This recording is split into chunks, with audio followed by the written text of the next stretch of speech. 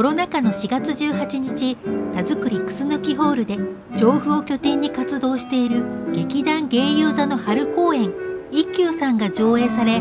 事前申し込み者約700名の中から先着で250名が無料招待されました。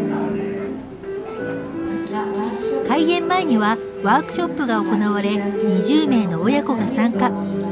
脚本家村田理恵さんの舞台一休さんにまつわるお話に参加者は熱心に耳を傾けていました。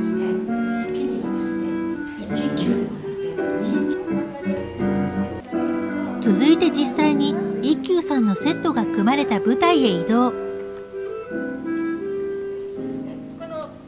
参加者は初めて上がった舞台の上で説明を聞きながら間近で大道具や背景を見学。親子で楽しい体験をしました。いよいよ舞台一休さんの開幕です。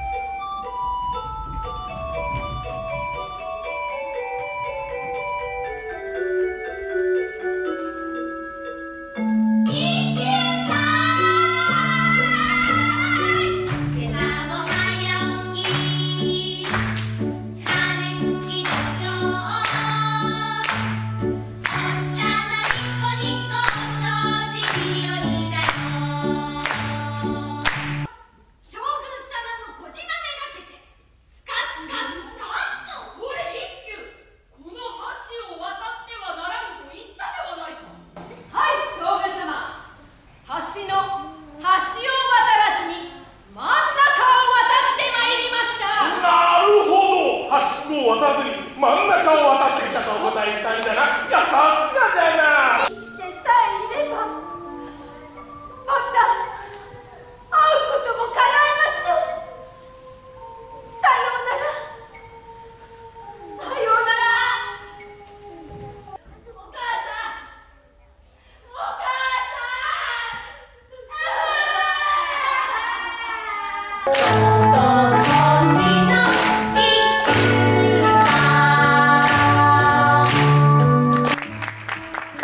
笑いと涙の一休さんに会場からは大きな拍手。来年の春公演にはみんなマスクを外し笑顔で舞台を楽しむホールいっぱいの親子の姿を見ることができるでしょう。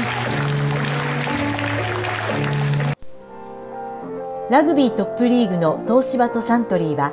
チームの練習拠点を置く府中市調布市三鷹市の3市と5社連携協定を締結し4月8日に調布市の味の素スタジアムで締結式を行いました。協定は19年ワールドカップを契機としてスポーツ振興地域経済の活性化青少年の健全育成などを推進することを目的としており今後も多岐にわたる分野で5社が連携して活動していきます。協定締結の後和やかなムードの中東芝リーチマイケルと小川首相サントリー中村首相と流選手たちとそれぞれのユニフォームを持って記念撮影をしました。3市長とも普段とは様子の違う照れくさそうな表情でした。コロナ禍の4月11日玉川河川敷で調布市主催による美化推進を目的とする春の多摩川クリーン作戦が開催され日頃河川敷を利用している子どもや大人地域住民ら総勢907名が参加しました。82回目となるクリーン作戦は朝8時。多摩川沿いに設けられた9カ所の集合場所から一斉にスタート。